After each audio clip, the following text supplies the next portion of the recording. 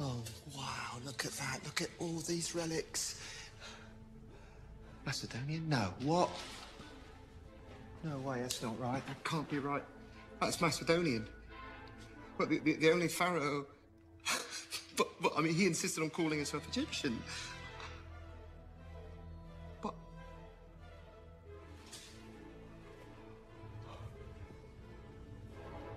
I think. I think we're looking at the long lost tomb of Alexander the Great.